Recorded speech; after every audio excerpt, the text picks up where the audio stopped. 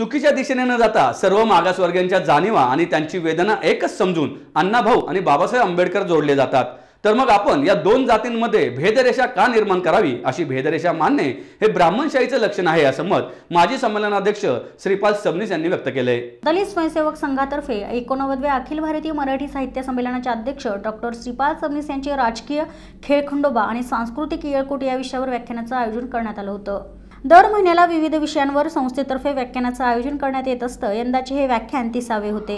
ब्राह्मणांनी त्यांच्या स्वार्थासाठी नेहमी समाजात तेढ निर्माण केली. तेच मातंग समाजाच्या लोकांनी केलं तर ते पाप आहे. अण्णाभाऊ अण्णाभाऊ साठे आणि बाबासाहेब आंबेडकरांनी ज्या ब्राह्मणशाहीला नाकारलं ती ब्राह्मणशाही आपण स्वीकारायची का? हे आजच्या मातंगाच्या समोर प्रश्न आहे असं मत डॉक्टर श्रीपाल सबनीस यांनी यावेळी व्यक्त केलंय. यावेळी दलित स्वयंसेवक संघाचे अध्यक्ष दादासाहेब सोनवणे आणि आदी कार्यकर्ते उपस्थित होते. सर्व मागासवर्गीयांच्या जाणीवा आणि त्यांची वेदना एकच समजून अण्णाभाऊ बाबासाहेब आंबेडकर जोडले जातात. मग आम्ही या दोन जातीच्या मध्ये मध्ये भेदरेषा का निर्माण करायची का मानायची? अशी भेदरेषा मानणं किंवा ती वाढवणं आणि अंतर निर्माण करणं हे ब्राह्मणशाहीचं लक्षण आहे. ब्राह्मणशाहीला तेच पाहिजे आहे.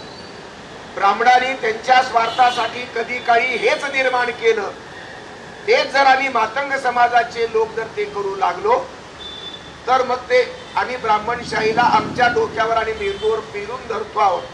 आणि ते पाप आहे हे निश्चितपणे समजून घेण्याची गरज आहे. ती नाकारलेली ब्राह्मणशाही आम्ही स्वीकारायची का?